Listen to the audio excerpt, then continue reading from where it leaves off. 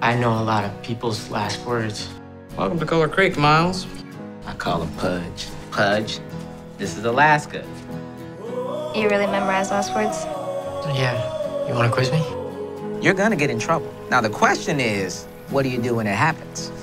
How will I ever get out of this labyrinth? Those are some seriously great last words. What do they mean? That's the mystery, isn't it?